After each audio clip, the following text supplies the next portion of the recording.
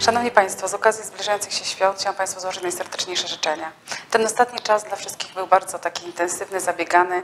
Gdzieśmy, gdzie byśmy się odwrócili, widzieliśmy, że wszyscy gdzieś gonią, a to zakupy, a takie inne zobowiązania związane właśnie z przygotowywaniem świąt. Teraz jest taki moment, kiedy się trzeba zatrzymać, znaleźć ten czas właśnie, żeby wspólnie z rodziną, z przyjaciółmi, z najbliższymi spędzić to, te święta i uchwycić tą magię, ten wyjątkowy czas. Czas takiej refleksji, wspólnych życzeń, kolendy, ale również i taki czas planów e, w związku z zbliżającym się Nowym Rokiem.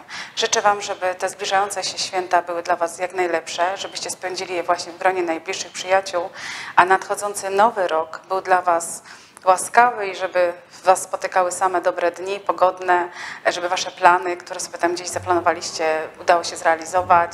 No i żebyście znaleźli czas dla siebie, żebyście znaleźli też ten czas, żeby się zatrzymać e, i, i, i po prostu pobyć ze sobą.